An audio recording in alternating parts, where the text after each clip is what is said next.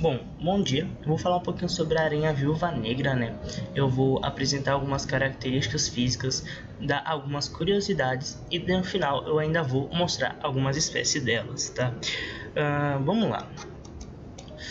Uh, um resumão sobre a viúva negra.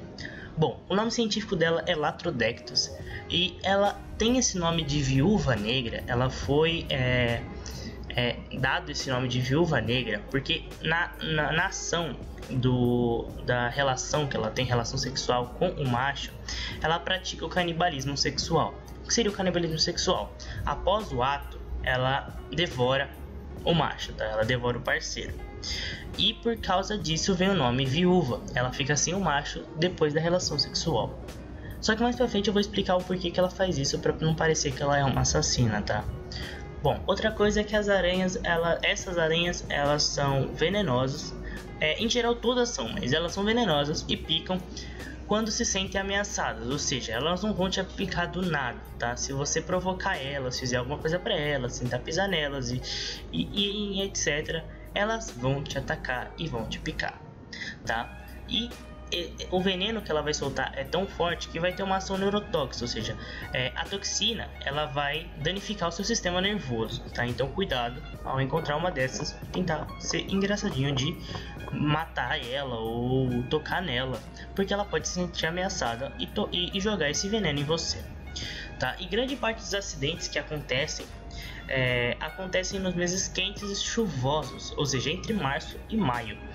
E mais pra frente eu vou citar, eu vou, eu vou, eu vou, eu vou mostrar uma, uma curiosidade que relaciona nessas, nessa questão dos meses quentes e chuvosos, tá? Vamos lá, as características físicas. Aqui engloba em geral todas as aranhas, mas eu vou falar porque a viúva negra é uma aranha, né? Obviamente. Uh, então, basicamente, as características físicas não seria a aparência, e sim uh, como que é como que é o corpo delas, as, os, quais são os órgãos, essas coisas assim, tá? As aranhas em si, elas variam de 5 a 9 centímetros de comprimento. O corpo de uma aranha se divide em duas partes, o cefalotórax e o abdômen. O cefalotórax contém o estômago e o cérebro, e nessa parte do cefalotórax estão ligadas as patas. E também tem o abdômen, que contém o intestino, o coração e também as partes reprodutoras que fabricam a seda. Quer dizer, as partes reprodutoras e, e as que fabricam a seda, tá? As aranhas têm quatro pares de patas, ou seja, elas têm oito patas, que têm garras na, em cada ponta, tá? E na parte de trás, as aranhas possuem órgãos chamados fiandeiras, que fabricam a seda, que vão fabricar a teia. E muitas aranhas têm veneno que injetam nas presas, ou seja, como eu citei lá, é, muitas aranhas possuem veneno e elas vão injetar na presa caso ela se sinta ameaçada. Só que muito desses venenos não é nocivo para as pessoas. A da viúva negra, por exemplo, é. Mas tem aranhas que não possuem veneno, que, que tipo, o veneno não é tão perigoso, tipo, e não é nocivo para as pessoas. Uh, e como cita aqui, a da viúva negra, por exemplo, pode causar muita dor e até a morte. O comportamento. No comportamento vai falar mais sobre a alimentação e o jeito que ela, que, que ela vive, né, basicamente. Basicamente a alimentação da viúva negra ela consiste basicamente de insetos, algumas caçam e perseguem suas presas. Para que isso ocorra, a aranha ela tem que ter o sentido do tato e da visão bem desenvolvido, tá? Uh, outras elas é, testem as teias para apanhar os insetos voadores, para enrolar as presas, para proteger seus ovos e para fazer o seu ninho. As aranhas viúva negras, como todas as outras, elas digerem o alimento fora do corpo. Ou seja, uh, elas capturam a presa, cobrem com suco digestivo. Esse suco vai dissolver todo o corpo da presa e vai transformar em um líquido que vai ser sugado. E aí ela vai repetir esse processo até que ele seja totalmente dissolvido. E aí ela vai lá só e suga de uma vez só. E as aranhas viúva-negras, elas não costumam, não costumam ter um comportamento agressivo, tá? Elas só é, atacam elas, quando elas se sentem ameaçadas, como foi dito já. Uh, e é isso, basicamente. O ciclo de vida e reprodução.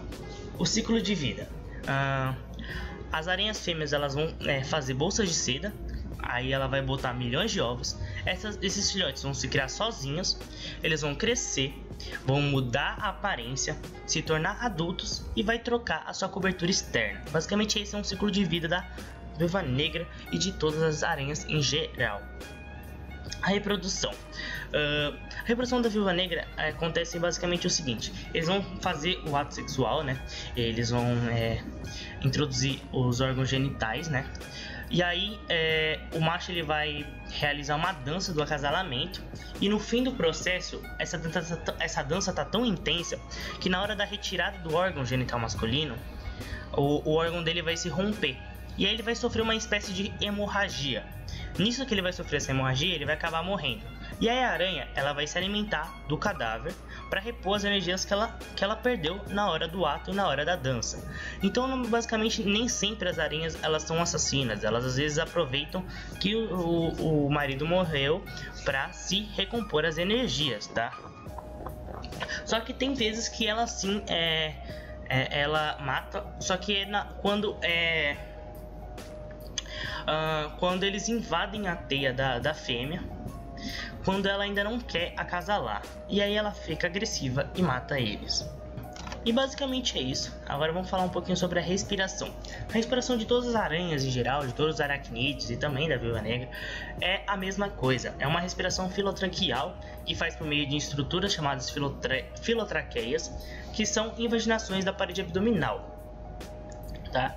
Uh, e como que funciona? O ar ele vai entrar pelos orifícios abdominais em contato com o exterior vai chegar até a filotraqueia.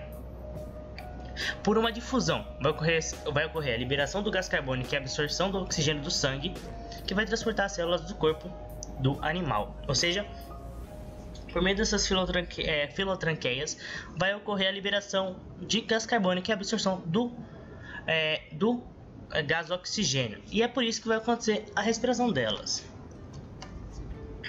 A digestão. Como já foi citado, eu vou citar de novo, a digestão delas acontece com é, substâncias digestivas que vão meio que dissolver o corpo da, da, da, presa que elas vão comer e elas vão jogando é, até dissolver totalmente. E ela só vai dar uma, uma última sugada e vai é, é, terminar de se alimentar do corpo da vítima.